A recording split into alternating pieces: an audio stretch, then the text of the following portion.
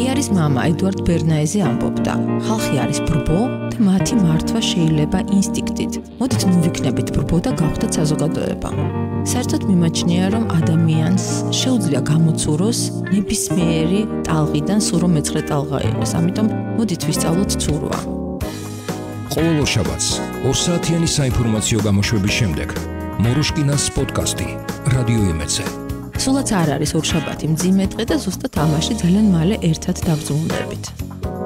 მორუშკინას პოდკასტი. გადაცემის სამგენია სიგნაღი არტოდელი. დამირეკეთ მე 574 82 86 86 თქვენი ლალი მაროშკინა. მოგესალმებით ძვირფასო მეგობრებო, ძალიან მინდა რომ გითხრათ რომ ორშაბათი არ არის მძიმე დღე, რასაც ყოველ ორშაბათს ვაკეთებთ, მაგრამ დღევანდელი ორშაბათი სამწუხაროდ არის საკმაოდ მძიმე. ჩემთვის 85 წელს, როდესაც მე დავწვი წითელი ესე იგი პიონერის ჰალსტუკი, ეგრეთ წოდებული და გამაგდეს სკოლი და მე ვიღაცას რო ეთქვა რომ შენ ევროპულ ფასეულობას ებრძვინო, ალბათ თავს მოვიკლავდი, თავს მოვიკლავდი ალბათ 86-ში, როდესაც ჯვარი ჩამომგლიჯეს და კიდევ ერთი სკოლიდან გამაგდეს და ასე მოკლედ გაგდებულმა და დავამთავრე სკოლა მიუხედავად იმისა, რომ ფრიადოსანი ვიყავი, როდესაც შემდეგ ციცელ დიპლომზე დავამთავრე უნივერსიტეტი. იქაც სერიოზული პრობლემები მქონდა, იმიტომ რომ არაფრით არ მინდოდა მინდოდა კომკავშირის რიგებში ჩადგომა მიუხედავად იმისა, რომ საკმაოდ მომგებიანი იყო ასეთი პოზიცია და ვებრძოდი მაშინდელ კომუნისტურ ლიდერებს, რომლებიც ხოთა შორის დღეს მრავლად ყავს ეგრეთ წოდებულ ეროვნულ მოძრაობაში, რომელიც ასე ვთქვა, ყელყელაობენ და დღესაც წარმოდგენილები იქნებიან. ზუსტად ზუსტად ეს ის ხალხია, რომელიც მეუბნებოდა, რომ შენ არასწორად ცხოვრობ და დედაჩემს ეუბნებოდნენ და ჩემს მამინაცვალ თალეშონიას იბარებდნენ სკოლაში და ეუბნებოდნენ, რომ ვერ გაზარდე. შენი გერი, იმიტომ რომ აი ესე არ უნდა ჩვენი კომუნისტური იდეოლოგიის გაზიარება და ბებია ჩემი რომელიც იყო დიდი საფთიაქო ქსელის ხელმძღვანელი და უარი თქვა კომუნისტურ პარტიაში შესვლაზე, არ ვიცი ალბათ დღეს საფლავში ტრიალებს, როდესაც ესმის რომ ჩვენაირებზე შეიძლება თქვან რომ იქნებ თქვენ არ გინდათ ევროპა, იცით რა, გერმანიაში რო ვსწავლობდი, მაშინაც რო ვიღაცას ჩემთვის ეთქვა რომ შეხო არ გინდა ევროპა და მოსკოვები გირჩევნია, საშნად შეურაცხყოფილი ვიქნებოდი ისევე როგორც დღეს იქნებოდი ამით შეურაცხყოფილი. აღმოჩნდა რომ ვინც ყველაზე მეც ჩხუბობდა და ყვიროდა რომ თურმე არ ვიცი არ უნდა ვჭამოთ რუსული კამფეტი და თვითონ მილიონებს იღებდა დღეს მოკლედ ეს კრებული იქნება ასეთი ტიპის ადამიანების ძალიან გული მწყდება რომ ბევრი ჩვენი კოლეგა სამწუხაროდ ამ რთულბედობის ჟამს და ძნელბედობის ჟამს არაადეკვატურ განცხადებებს აკეთებს იმიტომ რომ სადაც ხარ მინიმუმ ისტოტი არ უნდა იხერხო და მინიმუმ შენ კოლეგებს სულში არ უნდა აფურთხო მე მგონი ეს ნორმალური მდგომარეობაა. აა იცით მე ჩემი თაობის გადმოსახედიდან ვამბობ იმას რომ რთულია ის გზა რაც გავიარეთ და კიდევ უფრო რთულია იმ რეალობის მიღება რომელიც დღეს დადგა. მე რომ მარტო მარტო არ ვისაუბრო, ამიტომ სასაუბროთ ვატო შაქარიშვილია, ჩემი სტუმარი. არაჩვეულებრივი ახალგაზრდა და მე ვფიქრობ, რომ ასეთ პროგრესულ ახალგაზრდებზე არის დამყარებული დღევანდელი ჩვენი ცხოვრებაც, პოლიტიკაც და იმედი მაქვს, რომ მომავალიც და პირდაპირ შეკითხვით გადმოვდივარ ვატო, ძალიან დიდი მადლობა. პირიქით მადლობა მოძრაობისთვის, მივესალმები იმედის და შენი გადაცემის მრავალრიცხოვ მსმენელს და როგორც ვთქვი, მაყურებელსაც.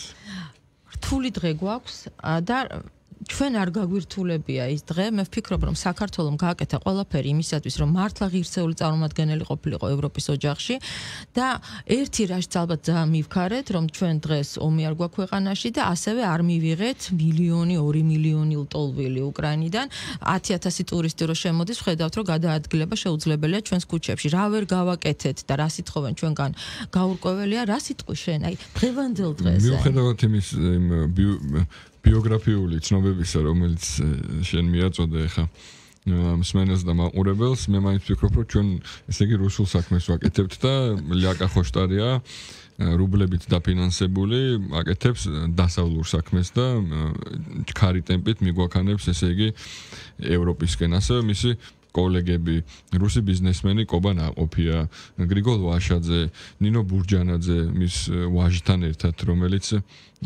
გრუს სპეცნას ეპატიზებოდა თბილისში, ასე შემდეგ და ასე შემდეგ ეს ადამიანები აი პირდაპირ ჩქარისულით, ჩქარი ნაბიჯებით მიაქანებენ ჩვენს ქვეყანას ევროპისკენ. რა თქმა უნდა ეს პარადოქსია. ასევე ვერთები იმ პათოს და კონტექსტს რომ ძალიან სამწუხაროა გარკვეული ადამიანების მხრიდან ამ კამპანიაში ჩართვა, მაგრამ ამაშიც ხედავ პოზიტიურ აა მნიშვნელობას რომ კარგია ერთხელ და სამუდამოდ უნდა მოხდეს ლუსტრირება აა ყოველასი და სახელი უნდა დაერქვას. და მათ უნდა იცოდნენ მინდა თქვენი ეთერის მეშვეობით უთხრა რომ დღევანდელ აქციაში მონაწილეობა და ამით მონაწილეობა ხელისუფლების ძალადობრივი გზით შეცვლის ცდელობაში არ უდრის ევროკავშირისკენ სვლას.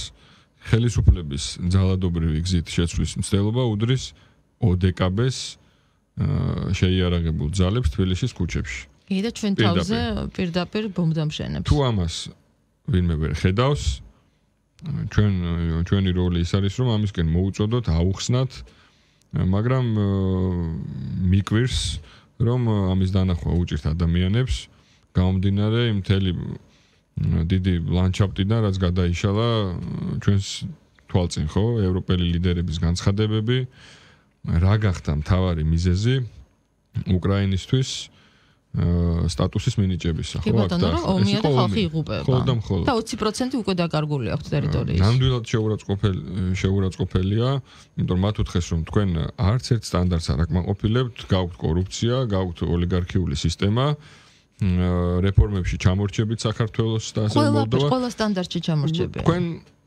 თქვენი არ ვიცი უგუნურებით თუ შეგნებული საქციელით გარკვეული უფრო დიდი გლობალური ძალების სამშობლოზე მოიტანეთ თქვენი ქვეყანა და ამიტომ ამ არ ვიცი, უმნიშვნელო ნაბიჯით ჩვენ ამას გიფასებთ. მე კიდე ერთ რამას გეტყვი. ასე ვეცო გზავნილი ჩვენი მისამართი. კიდე უფრო უარესი თქვა ამ ქალბატონმა და არ ვიცი, მე შევშფოთდი ამაზე, პირდაპირ გეტყვი. იყო ნათქვამი ასეთი ფრაზა, რომ თქვენი გეოგრაფიული მდებარეობიდან გამომდინარე და თქვენი მეზობლები არიან სომხები და აზერბაიჯანელები. მე ხავე მინდა ვთქვა, რომ მე ძალიან მიყვარს ჩემი მეზობლები, სომხებიც და აზერბაიჯანელებიც. მე ძალიან მეგობარი, ბევრი მეგობარი მყავს. სომხებიც, აზერბაიჯანელებიც, აქ მცხოვრები და იქ მყოფი და არავიზე ნაკლები ნაკლები ქვეყნები არ არიან და მე ვფიქრობ რომ მათი ჩვენ გვერდზე ყოფნა დიახაც ამაყვა და მე ვფიქრობ ერთ ჩვენი დღეს ერთ დიდ კავკასიურ ოჯახში გავიღვიძებთ და არა გაურკვეველი სტატუსით გავურკვევა და ამ ქალბატონის შეწებებულ ერთობაში და შენი ჭირი მე მიმიღე. მე დიდი ხანია მიღებული ვარ იმიტომ რომ ჩემი ფასეულობა ევროპულია ოღონდ სხვა ის ევროპული რომელიც სულხან საბას მოწონდა. და ის ევროპული და არა ის როგორც ეფერებოდა ლუდოვიკო მაშინაც ციცას და ეხლა ციცას ეფერებიან საკუთარ ციცის ფერებას ვერ მორჩნენ ვერასდროს შენ რასაც ამბობ ლუსტრაცია იცი რა არის? წლები გადის უკვე 2000 მე სულ ვამბობ, რომ ჩემი ცხოვრების მეორე ნაწილი დაიწყო 2012 წლიდან, იმიტომ რომ აქამდე ვიცოდი, რომ ყოველ დღე ან ციხე იყო, ან სადაღმოჩნდებოდი, ან როგორ ვიქნებოდი, მუდმივად იყო ვიღაცა მელოდებოდა. ძალიან კარგად მახსოვს 2012 წლის არჩევნები, როდესაც მოვიდნენ ჩემთან და მითხრეს 15 დღე ხო გვეჯექი ერთხელ იქ და ახლა 15 წლით ჩაგვსვამ. და როდესაც ღია მუქარა არის ჩემზე და ჩემნაირებზე და ჩვენ საკმაოდ ბევრნი ვართ, მაგრამ არავის არაზოს არაფრისკენ არ მოუწოდებთ. ერთადერთი რაც არ გვინდა, რომ ჩვენ ქვეყანა შეურაცხყოფას აყენებდნენ. ჩვენი გეოპოლიტიკის გამო როგორ შეიძლება ჩვენ შეურაცხყოფა მოგვაყენო რომ თურმე მეზობლები გყოლია არა ფრანგები და ესპანელები და თურმე ახლა გაიგეს ეს ამბავი არამედ აზერბაიჯანელები და სომხები და ძალიან დიდი მადლობა გამჩენს რომ ზუსტად მათი მეზობლები ვართ ჩვენ. კი ბატონო მადლობა უმერც და მადლობა უნდა თქვან. ჩვენ მიუხედავად ამ გეოგრაფიული სიშორისა ესე ვთქვა და დისტანციისა სწორედ ჩვენთან არის გადარჩენილი და შენარჩუნებული ის ფასებულობები და ღირებულებები, რაზეც იყო დაფუძნებული თავის დროზე ეს ევროპული ერთობა, ხო? 100000 მოწამის ქვეყანა ვართ და ესე იგი ეს რას ნიშნავს, რომ 100000-მა მოწამემ ერთ დღეში ქრისტიანობას შეწირა თავი. ქრისტიანობა ეს არ იყო მარტო ჩვენი რაღაცა ინდივიდუალური ეროვნული რელიგია, ხო? ქრისტიანობა რა არის ევროპა თუ არა ქრისტიანობა მაშინ? რა თქმა უნდა. და რა რა რა აქვს გაკეთებული საქართველოს ისტორიულად თუ აქ აქ და ახლა აწყოში. ნებისმიერი სტანდარტით ადამიანის უფლებების, მედიის თავისუფლების, სიტყვის თავისუფლების აა ვიცი, ყველა სტანდარტის მიხედვით შევედაროთ ნებისმიერ ქვეყანას. ნებისმიერს, ნებისმიერ ევროპულ, თუნდაც წამყვან ქვეყანას. რა კულტურის ხალხი ვართ? პროტესტს როგორ გამოვხატავთ? როგორ გამოვხატავდით მაშინ, როცა ჩვენ ოჯახის წევრებს ვიცოდით პირდაპირ ციხეებში რა ძალადობის ხერპლი იყვნენ, რა შეურაცხყოფა იყო, რა ღირსები შელახვა იყო, აღარ ვიხმარ იმ სიტყვას, ხო? კაცებს რას უკეთებდნენ და როგორ გვიჩაგრავდნენ მაგარ ბიჭებს და მაგარ კაცებს, ხო? მაშინ არ გავა ცოცხალი აღარ არის დღეს. და ნახევარზე მეტი იქიდან ცოცხალი ვერ გამოვიდა, ან ჯამთელობის პრობლემები და ასე შემდეგ და ასე შემდეგ. მაშინ არ გადაგვიკეთავს წითელი ხაზები და მართლა ეხა ბანალურად ჟღერს, მაგრამ სიტყვა სიტყვით ესე იყო, ხიდან ფოთოლი არ ჩამოვარდნა და მანქანის შუშა არ გატეხილა და მაღაზიის ვიტრინა არ ჩამტრივულა. ხო, ეს შინაგანი კულტურის ამბავია. ხო, ანუ ამას ვამბობ, რა კულტურის ხალხი ვართ, რა ზნეობის ხალხი ვართ, რა მორალის ხალხი ვართ. რა მსხვერპლი გვაგაღებული, რატო იღუპებოდნენ ჩვენი ახალგაზრდა ბიჭები ჰელმუნდის პროვინციაში, ავღანეთში. იქ სადაც 30 წლის შემდეგ, აი ამ ხელამ მსხვერპლის შემდეგ, უცებ შეიცვალა ადმინისტრაცია თუ საგარეო პოლიტიკა და გავიდნენ. გავიდნენ. ერთ დღეში. საერთაშორისო მისიაში არ გვაქვს მსხვერპლი გაღებული, რუსეთთან ურთიერთობაში კი არა, რუსეთთან ომში. ის 20% რაც ახლა დაკარგა უკრაინამ, ჩვენ დიდი ხანია დაკარგული გვაქვს. რა რა მსხვერპლი არ გვაქვს გაღებული. გინდა საერთოსთვის გლობალურისთვის და გინდა როგორც ჩვენ მაგრამ ფატო მე რა მინდა იცი გითხრა არავინ არ საუბრობს არავინ არ საუბრობს იმაზე რომ რეალურად გეოპოლიტიკურად აბსოლუტურად სხვა გადანაწილება მიდის როდესაც ჯონსონმა თქვა რომ მორჩა მე აღარ მინდა ევროკავშირი გასაგები იყო რომ რაღაცა რღვევა იწყებოდა გასაგები იყო რომ ინგლისი იწყებდა ბრიტანეთი იწყებდა თავის თამაშს. და ჩვენ ვხედავთ ამ თამაშს როგორი შეთამაშება მიდის თურქეთთან მათი. როგორ ქვეყნა ყალიბდება რეალურად ჩამოყალიბდა აზერბაიჯანი? რა ვექტორია აქვს სომხეთ სამწუხაროდ ხანდახან ესე მგონია ხოლმე რომ ჩვენ ამას ყველაფერს არ ვაქცევთ ყურადღებას. და მართლა ასე მაჩანჩალა პოზიციაში ხო არავინ არ დაგვტოვებს ვიღაცამ უნდა შეგვიწოვოს და ვინ შეგვიწოვოს? ამ თამაში დიდი ხანია მიჩენილი აქვს ჩვენი როლი. ის რაც დღეს ხდება ხდება ხომ მე თანხმები რა სპექტაკლის ნაწილია? მე მაშინაც ვამბობდი აი როდესაც ხო არ გაგაწყვეტინეთ არა არა უბრალოდ ჩვენ მე რა მინდა იცი დავაფიქრო სპონტანურად არაფერი არ ხდება ვიღაცას ეჩვენება რომ ჰოპ ეს სპონტანურია არა რეალურად ეხა ბრიტანული თამაშები მიდის ძალიან ძლიერი ბრიტანეთის გავლენა და ბრიტანეთის სურვილი საქართველოსზე ქონოდა გავლენა ყოველთვის იყო და არსებობდა ამერიკის შტატებთან ერთად ეს ანგლოსაქსური კი ბატონო. კი ბატონო ეს არის მე ამაზე ვლაპარაკობდი ადრეც როდესაც ძალიან აქტიურად განიხილებოდა 3+3 ფორმატი. ანაირად მოწოდების ან პირდაპირ გადაწყვეტილების კუთხით. მე უბრალოდ ამბობდი, რომ არ შეიძლება ამ თემებზე არ ვილაპარაკოთ. რაღაც პროცესი ვითარდება, პოლიტიკური, გეოპოლიტიკური ცვლილებებია, რაღაც ახალი იბადება. და ჩვენ ნიშას გარშემო დავდივართ, ისე გამოუშვათ, არ გამოუშვათ ნიშას გარშემო ვარ. და მინიმუმ პოზიციას არ ვაფიქსირებთ. და მინიმუმ რაღაცა სხვის დაკრულზე არ ვთამაშობთ, ხო? მაგრამ ეს ჩაივლის ეს პროცესი განვითარდება უჩვენოთ. იცი რა, ერთი რამე მინდა კითხვა, შენ ხო ზუსტად იცი რა მოხდება დღეს? ისევე როგორც ყველა მიცის, ვინც იქ წავიდა, მათ შორის ჩემი კოლეგებიც, ვინც აპირებს წასვლას, რომ საბოლოო ჯამში ყველაფერი გადაიქცევა ძირს მთავრობა, მოწოდებად და სააკაშვილი გარეთ.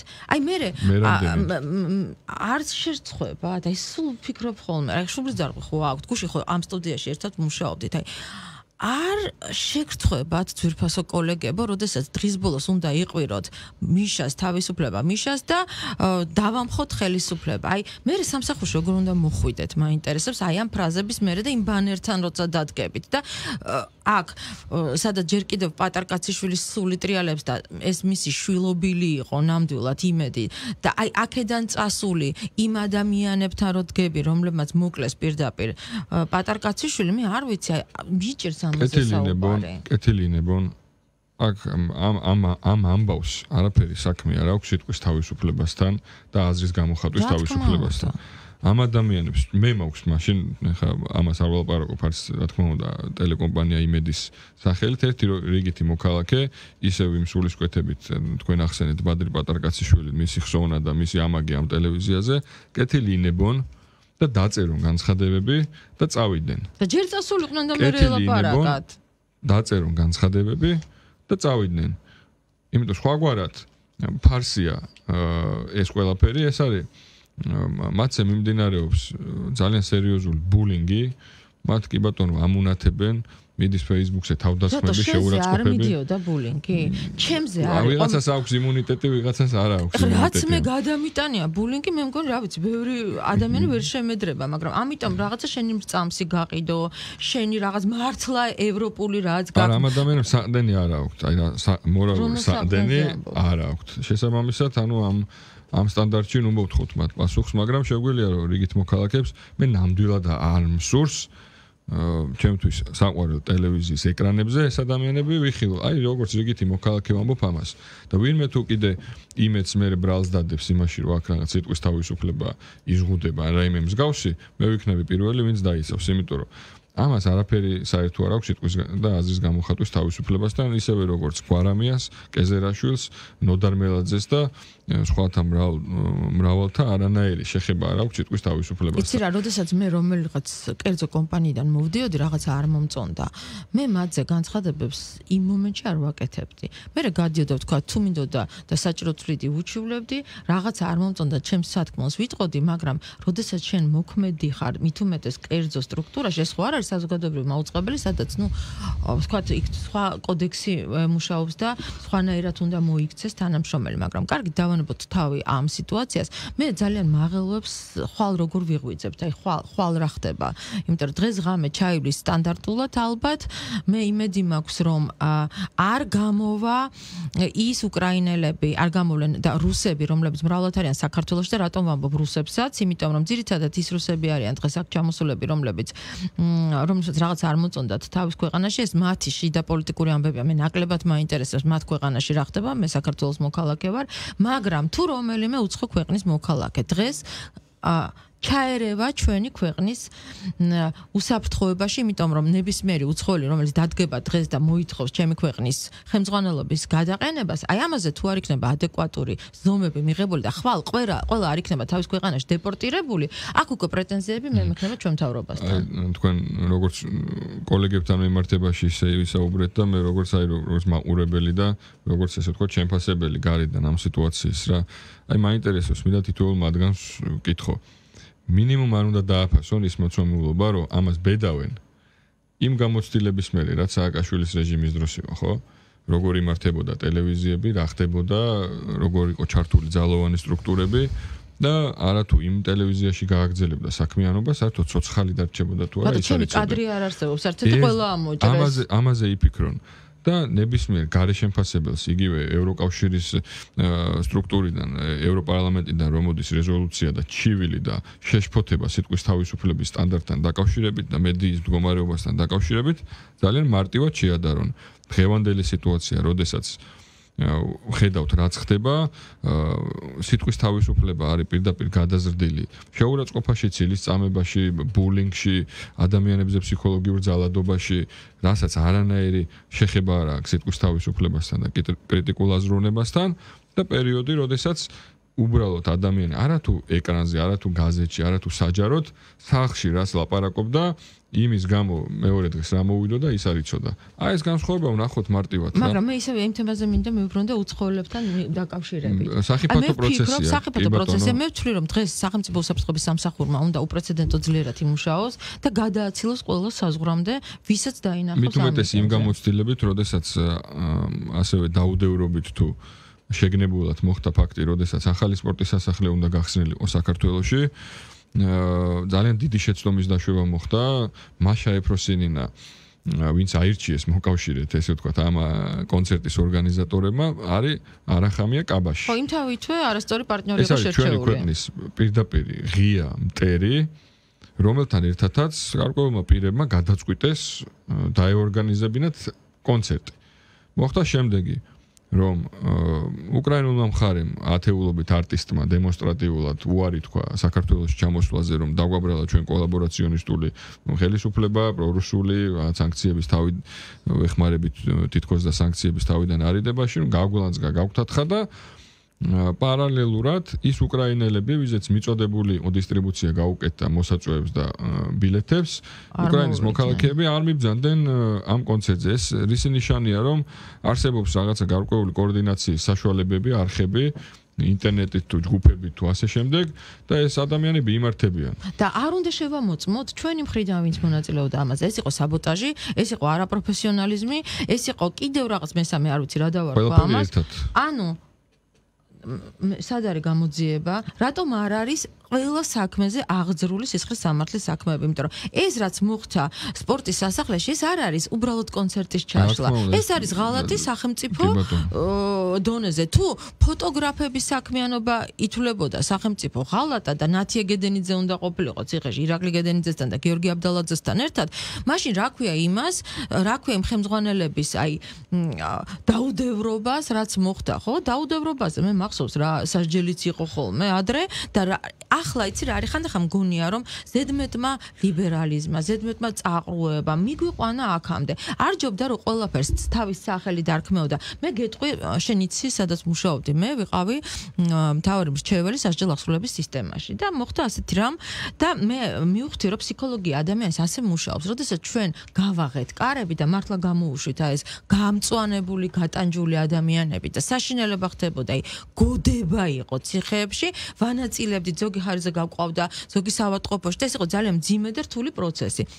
სადღაც 3-4 თვე დაჭირდა იმას, რომ აი ეს ადამიანები ცოტა მაინც გონზე მოგვეყვანა და მორიგი მონიტორინგი მიწევს და მე ციხებიდან არ გამოვდიოდი, ყველამ კარგად იცის ეს დღეები, მაგრამ იმ მომენტში აი სადღაც რომელღაც აღარ მახსოვს, რომ გლდანის ციხეში მივედი მონიტორინგზე და მესმის. კარგია თანამდებობა, მესმის იმ ადამიანისგან, რომელიც ცოცხალ მკვდარი გამოვიყვანე, მოვასულიერე, ექიმი დავაყენე, ბევრმა იცის, რომ მე ოპერაციებსაც ვერ სწრებოდი ხოლმე, იმიტომ რომ იმდენ ეშინოდათ, რომ ესე იქ უნდა მდგარიყავი, რომ აი ეს შიშის ფაქტორი და მივხვდი, რომ თურმე ადამიანი ასეა მოწყობილი. შენ თუ ის ჯერ უნდათ არ დასაჯე გონია, რომ აუ მეორეჯერაც ვიზა, მესამეჯერ სადაც ეს ვიღაც სულელი ყოფილა და ამასთან ყველაფერი გამივა. არ გეჩვენება, რომ დღეს ასეთი დამოკიდებულება აქვს ხელისუფლების მიმართ. ვამათ, ამათ გავაბიტურებ. დღეს გამოვალთ, დავლეწავთ ყველაფერს. მე რა მოხდა, როგორც ვერ დაგვსაჯეს, ახლაც ვერ დაგვჯიან. აი, დაუსჯელობის სინდრომი არის კატასტროფა. უგულავა ჟორიკარურუა სხვანი ხა გარკვეული პოლიტიკური მოცემულობის დროს გათავისუფლდნენ ხო?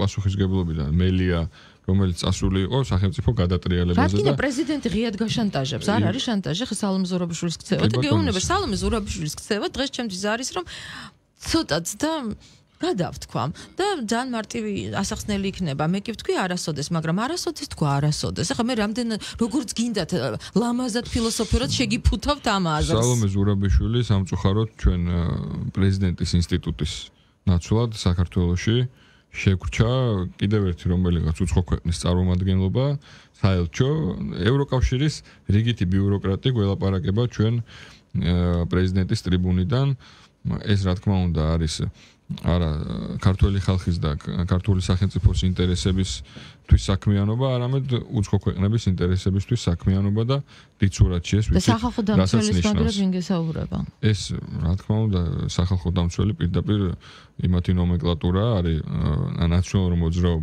არ ვიცი, ნაციონალურ მოძრაობის ყველაზე მიშაზე უფრო მეტი მიშისტია რა. მაგრამ იცი რა მე და შენ რო საუბრობთ ახლა ნინო ლომჯარია რომელიც ნუ წარმოუდგენელია გარდა სახალხო დამცველობისა. Well მაგრამ ადამიანი რომელმაც გაიდლაინებით ისწავლა ადამიანის უფლებები ის ვერასოდეს ვერ იქნება კარგი სახალხო დამცველი. ბატონ, აი ჩვენ ხო საუბრობთ ადამიანის უფლებებზე. შეგვიძლია ესე სახელები ჩამ დავიწყოთ ესე და ყველა სახელის მიღმა დაიწერება საოცარი ისტორია, სამწუხაროდ არასწორი კადრები. ახლა ჩვენ მაყურებელი გვიყურებს, გვისმენს და ფიქრობს, რომ და ჩვენ რა ვქნათ ამ დროს? ჩვენ უბრალოდ ადამიანები, რომელსაც გვინდა უბრალოდ ჩვენთვის ვიშრომოთ, ნორმალურ ქვეყანაში ვიცხოვროთ, ყოველ ორ თვეში არ გქონდეს საშუალება როგორ გვამხობენ თავრობას, ვისთან მოვილაპარაკოთ, წინ როგორ წავიდეთ, საერთოდ დასასვენებლად ამ წელს წავიდეთ თუ არ წავიდეთ, თუ მოგვიწევს სადღაც შემოძნებზე ჯდომა, თუ დაგბომბავენ თუ არ დაგბომბავენ, თუ შემოვარდება ვიღაცის ჯარი. რა ქნას ხალხმა? ანუ გინდა თუ არ გინდა, ჩვენი აი ამ საუბრითაც მიდის არ ძალიან არ მინდა, მაგრამ ვექტორს და უიმედობა არ დავთესოთ საზოგადოებაში პირიქით. ხო, აი, რა გავაკეთოთ? პირიქით ქართველი ხალხი არის მგონიერი ერი, ქართველი ხალხი არის ბძენი მოწოდების სიმაღლეზე ყოველთვის კრიტიკულ სიტუაციაში ქართული საზოგადოება იდგა იქ სადაც საკუთარ ქვეყანას ჭირდებოდა. მე მოუწოდებ ხელისუფლებას რომ არ გაწყვიტოს კონტაქტი ქართულ საზოგადოებასთან. და არა მარტო კრიზისებში და კრიტიკულ სიტუაციებში მიმართოს ქართულ საზოგადოებას დასახმარებლად, არამედ მასთან იქონიოს მუდმივი კონტაქტი, იმიტომ რომ ერთადერთი დღეს რაზეც დგას ქართული ოცნების ხელისუფლება არის სახალხო მხარდაჭერა. სახალხო მხარდაჭერა კი გამოიწვია იმ პოლიტიკამ, რომელიც ბოლო 1 წლის განმავლობაში წაიყვანა ქართული ოცნების ხელისუფლებამ. ეს იყო სუვერენიტეტის აღდგენისკენ გადადგმული ნაბიჯები. ეს იყო ომში მიუხედავად უდიდესი დაწოლისა და ზეწოლისა, რაც ხდებოდა მთელი ამ თვეების განმავლობაში, ომში არ ჩართვის მოხერხება. მოხერხება, კი ბატონო, გრძელდება. და ეს იყო უკუკავშირი და კონტაქტი ახლო ქართულ საზოგადოებასთან, რომ მოესმინათ მათთვის და შეესრულებინათ მათი დაკვეთა. აი ეს სამი კომპონენტის კომბინაციამ გამოიწვია ქართული ხალხის კონსოლიდაცია ხელისუფლების გარშემო. არა იმიტომ, რომ თქვა სხვა კრიტიკული შენიშვნები რაც ქონდა ხელისუფლებასთან დაგვავიწყდა. უბრალოდ ისეთ ვითარებაში, როდესაც ქვეყნის ომში ჩათრევა დგას სასტორზე, იქ სხვა რუტინული ყოველდღიური შენიშვნები და აბსოლუტურად სამართლიანი პრეტენზიები ხდება მეათე ხარისხოვანი. კი ბატონო, ზოგში დანის ჩაცემაც არ შეიძლება ესეც ვიცით, ხო? ქვეყანაში მშვიდობის შენარჩუნება, იმიტომ რომ ეს არის თავარი ამოცანა დღეს.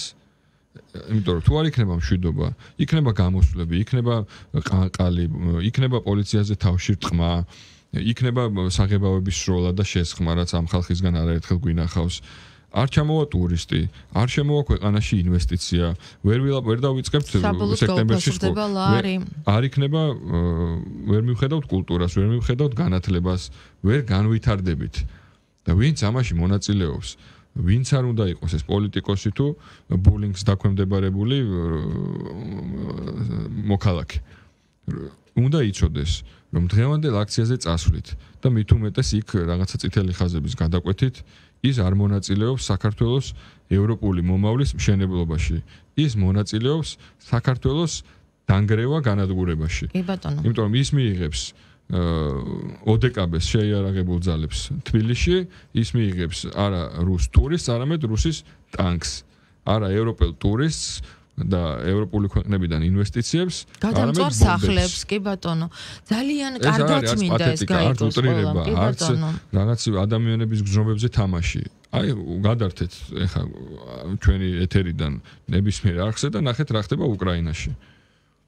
ეს არ არის ჩვენი რაღაცა დასკვნები და ანალიზის შედეგები. პირდაპირ გვეუბნებიან რომ ესე გინდათ მაშინ მოიტანეთ სამხედროზე თქვენი ქვეყანა აღარ იქნებით როგორც ერი, მაგრამ გეოგრაფიულად მე დაგვაინტერესებთ. თითქოს ეხლა დახედეს ამ გლობუსს და ეხლა გაიგესო საქართველოს კავკასიაში. მართლა აი დღეს ძალიან ვერიდები ხოლმე ამ თემებზე საუბარს, მაგრამ მე მართლა მინდა მიმართო ყოველას ძალიან კარგად დაფიქრდეს და გააზრებულად გადადგას ნაბიჯეს განსაკუთრებით ახალგაზრდებს ეხებათ, ვისაც გამოურეცხეს ტვინი, ვისაც ეუბნებიან, რომ ევროპული ფასეულობა ეს არის, ევროპული ფასეულობა არის შენი დედა სამშობლოს დაცვა და ჩვენი ეკლესიების არ განადგურება, ჩვენი სახლების არ განადგურება, ჩვენი შვილების არ შეწირვა, თქვენი არ შეწირვა, იმიტომ რომ შვილების თაობას მიმართავ მე ყველაზე ძლიერი. ზუსტად ისინი უნდა იყვნენ იმისთვის, რომ გენოფონდი გადა გადარჩეს და 500 კაციანი გენოფონდი ყავს. საქართველოს მეტი არ არის. ამის დათვლა ძალიან მარტივია. სხვათა შორის ძალიან დიდი გამოსვლები იყო მოლდავეთში გუშინ. ვიღაცას უნდა და მოენათლა ეს გამოსვლები როგორც აი ევროკავშირისკენ ასე ვთქვათ მიმართული. არა პირიქით იყო. ძალიან ძიმე დღეშია მოლდავეთი. სანდუს არასწორმა პოლიტიკამ ზუსტად სააკვალიშვილისეულმა პოლიტიკამ პრაქტიკულად გაანადგურა ეს ქვეყანაც. ძალიან რთული ვითარება იქაც და ამაზე შემდეგ ვისაუბრებ და მე შევეცდები მოლდაველი პოლიტიკოსები ვინც ჩავრთო, იმიტომ რომ საშინო მდგომარეობაშია ეს ქვეყანა და პრაქტიკულად ორი განადგურებული ქვეყანა შეყავთ და საქართველოს ასე აშანტაჟებენ. ჩვენი ევროპელი კოლეგები ეს ძალიან სამწუხარო ამის გაგება, მაგრამ მე მინდა ვატო აქ არის ამ სტუდიაში და ვატოს უკან უამრავი ნიჭიერი, კარგი, ზრდილი ახალგაზრდა, ჩემს უკან ჩემი თაობა დგას მინიმუმ ორი თაობა შეხედვართ აქ და ყველაფერი უნდა გავაკეთოთ რომ შვიდობა შევინარჩუნოთ, ყველაფერი უნდა გავაკეთოთ იმისთვის რომ დღეს ყველაფერმა წყნარად ჩაიაროს, მე კიდევ ერთხელ მივმართავ სახელმწიფო უსაფრთხოების სამსახურს რომ ის უცხოელები, რომლებიც გაბედავენ საქართველოსი არევას, რა თქმა უნდა იმ წუთშივე დეპორტირებულები უნდა იყვნენ და ჩვენ ვხედავთ რომ ამის საშიშროება არის. ვატო ბოლო რა სიტყვით და დავასრულოთ სამწუხაროდ დრო ძალიან უცებ გარბის. ჩემი თაობისთვისაც მინდა ვთქვა და ხშირად საუბრობთ ხოლმე ამ თემაზე. ევროპაში დღეს აქ ჩვენ არ გვაჩვენებენ საქართველოსში ეს ლიბერალური ტელევიზიები თორე აბსოლუტურად სხვა პოლიტიკა დგება დგება დღის წესრიგში და ენიჭება პრიორიტეტი. ეს არის საკუთარი ქვეყანა უპირველეს ყოვლისა. რაც მოხდა საფრანგეთში, სადაც მაკრონმა დაკარგა უმრავლესობა და მარი ლეპენი ნელ-ნელა მოდის, ხო რომელიც ზუსტად ამ ფასეულობებზე საუბრობს. ურბანის შემთხვევაში, სადაც მეოთხეჯერ მოვიდა მისი პარტია ხელისუფლებაში.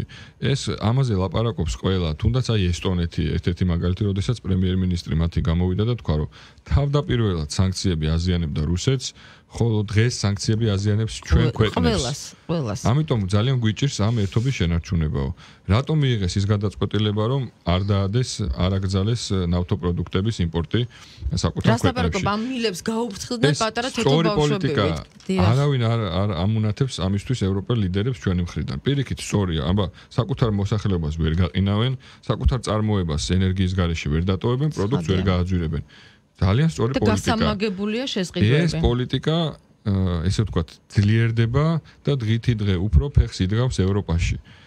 საკუთარი ქვეყანა უპირველეს ყოვლისა. მადლობა, ძალიან დიდი მადლობა. ჩვენთან არის მხოლოდ რეგრესის და წარსულში დარჩენის და რუსეთის მეუბნის სინონიმი. არა, ჩვენთანაც არ არის, ეს არის რაღაც ერთი ჯგუფი, რომელსაც დღეს ვნახავთ გამოსვლას. და ევროპაში არის ტენდენცია, ანუ მომავალი იქით არის და ნუ მიგვათრევთ იქ რაც უკვე დასრულდა და რაც უკვე ჩაბარდა წარსულს. ძალიან დიდი მადლობა და იმედი მაქვს, რომ ვისაც კიდევ არ ქონდათ გადაწყვეტილი, რომ არ გადაწყვეტ შეუერთდეთ აი იმას, რაც საქართველოს წინააღმდეგ იქნება. ძალიან დიდი მადლობა მომავალ ორშაბათამდე გემშვიდობებით.